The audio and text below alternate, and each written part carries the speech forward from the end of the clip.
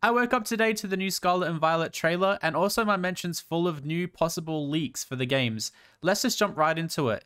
They may not be 100% legit, I'm skeptical on a couple, but let me know down below what you think. Yo, what's going on guys? It is Tox and welcome back to another Scarlet and Violet video. I am a content creator on here on YouTube and also on Twitch, and I'm going to be streaming the release of Scarlet and Violet as soon as it's out.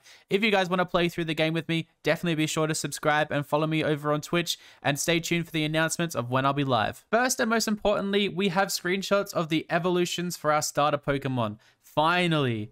Along with the middle evolution recently released, we have Fuecoco's evolution here. It's a scary looking crocodile. It has flames all over it. I am unsure if this is 100% real or not, considering it's meant to have a ghost typing. But if it's real, this Pokemon looks like an impressive Pokemon. It's going to be a huge, huge physically attacking beast. I'm really excited to use this. The design is just a little bit off for me compared to the other Pokemon we've seen so far in the Scarlet and Violet trailers. But maybe this is just a just an image before they round it out and make it super smooth. If this is the evolution of Fuecoco, I definitely picked the right starter. Next up, we have Sprigatito's middle and final evolutions, and sadly, they don't stay on all fours like some people really want. The middle stage kind of looks like Puss in Boots like in Shrek. It looks cute, but like it will slash my throat if I try and pat it at all. Here is the final evolution, and I'm unsure what to think really. It's a magician on two legs, and it looks okay, but I'm not the biggest fan of this Pokemon. Sprigatito fans, are you happy with this? Are you happy with the fact that it stands on two legs? Is the design what you expected? And finally, the last of the Pokemon that we start with, Quaxly. The evolutions from the Pokedex kind of look a bit off. They kind of look a bit average if it is true. It looks fan-made in a way, and I'm hoping it is fan-made because it doesn't really fit what I'd hoped for. It doesn't meet my expectations at all. So Fuecoco will be my choice still moving forward, but do these images change your mind on what starter you want to choose at all? I feel like some people might be leaning towards Fuecoco a little bit more now, but I still see some fans of Sprigatito choosing Sprigatito. As a huge Wooper fan, I am not thrilled at what this evolution looks like to be honest, and I hope it isn't legit at all. There was so much potential here, and it does look derpy just like Quagsire's form from the recent games, but I'm not sure if it's in a good way or not. I'm unsure if I'll keep Wooper and add it to my squad anymore, or I might just give it an Eviolite and just let it chill.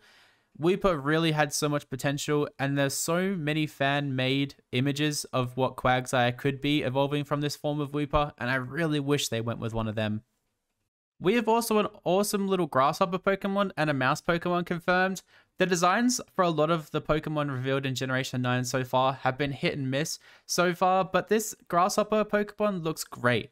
The first stage looks cute as heck, and then it evolves into a beast, which I'm guessing will just be grass and bug type, or maybe grass and steel or bug and steel. I'm impressed by this one, to be honest, and I might actually consider adding this to my squad. And then we've been blessed with this cute little toxic mouse Pokemon, Shroodle. Literally a perfect name for this appearance. I hope it evolves because it seems a little weak just to survive on its own, but it's one for the trainers who like cute Pokemon and want a cute Pokemon collection for their team. And last but not least, we have some news on Lechonk. Here we can see a male and female evolution form who look good in my opinion. Lechonk is still the cutest Pokemon of all time, so it would be hard to let it evolve into one of these. But I feel like these two Pokemon are full of potential and they're definitely going to have cool typings to go with their cool appearance. I'm unsure about hog Pokemon. I don't think I'm going to add these Pokemon to my team, but they're definitely going to be see like cool to see around the map. So there you have it. There are some more leaks for Scarlet and Violet. I'm getting super excited for this game. I keep saying it in every one of these videos. Let me know down below what your favorite leak has been so far and if any of these Pokemon you'll be adding to your team just because you've seen what they look like.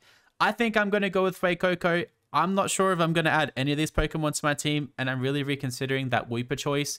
But who knows? When I play the game, it might feel a lot different. So thank you guys so much for all the love and support lately. I hope you enjoy these videos and I'll see you guys on the next one.